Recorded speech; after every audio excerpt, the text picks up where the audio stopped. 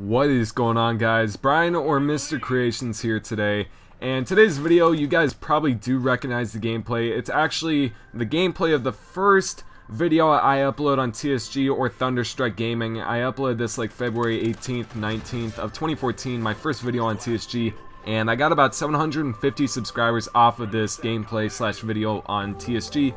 So you guys probably do recognize the gameplay, but nonetheless, I never uploaded it on my personal channel, so I figured why not. I'm kind of running it well on Call of Duty Ghost gameplays. I got like 25 more saved up, but after that, I'm I'm done with COD Ghosts. I'm not playing the game actually currently right now. I've been playing a lot of Modern Warfare 3, kind of kind of waiting to uh, to get either GTA in September or I'm, I'm trying to decide whether to get it on next gen or not. Probably will wait until September and get it on next generation console.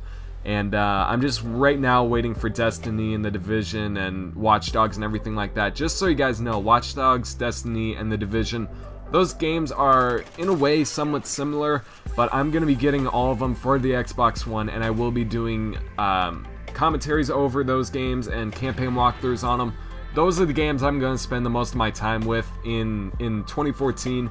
Probably not so much on the Call of Duty game. I'm not going to the midnight release of Sledgehammer's Modern Warfare 4 or whatever it's going to be. Um, I just haven't... I'm, I'm not into that game. Uh, the previous three Call of Duties release, if you guys don't know, Black Ops 1 was my first Call of Duty. I ended up getting that on Christmas. I was a Christmas noob. Um, but Modern Warfare 3, Black Ops 2, and Call of Duty Ghosts, I pre-ordered all those games and went to the midnight releases of them, and I'm just not caring to go to the midnight release for this Modern Warfare 4 Sledgehammer game, whatever it's going to be. Uh, to be honest, I could not give a shit about that game. I haven't seen anything from it, so I can't tell you if it's going to be good or bad, but uh, wise choice would probably be or wise guess, I should say, would probably be that it would be kind of a sack of shit. But anyways, this host migration right here in the background, I know. Uh, but nonetheless, I've been seeing a lot of videos on wish lists for, for the next Call of Duty, so I'm going to do one myself um, right now. The thing I want most to return is connection bar.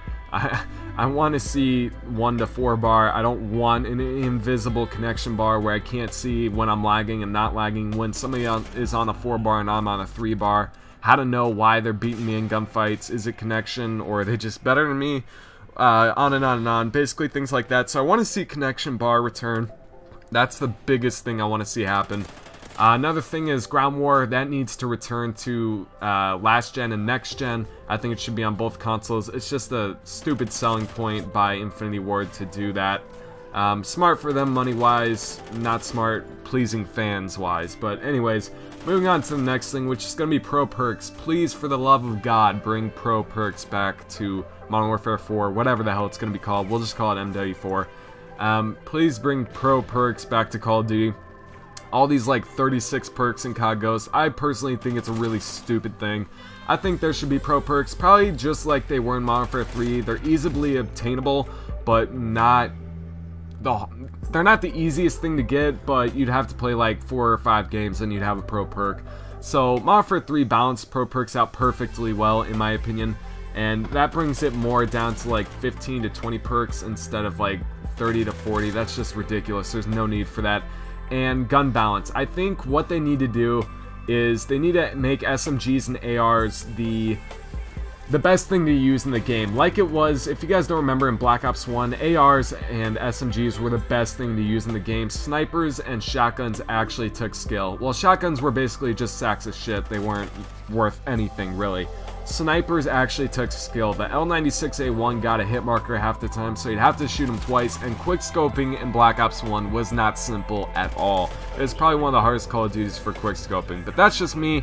Uh, pro perks, bring those back, cut down the perks in half, put back a connection bar in the game, and make ARs and SMGs the prominent guns in the game. That would get me to play the next Call of Duty again. I would definitely be doing that. But anyways, nonetheless, hopefully you guys did enjoy the commentary slash gameplay. If you did, remember to leave those likes. Let's try and shoot for 50 like usual, and subscribe if you're new. It would mean a lot.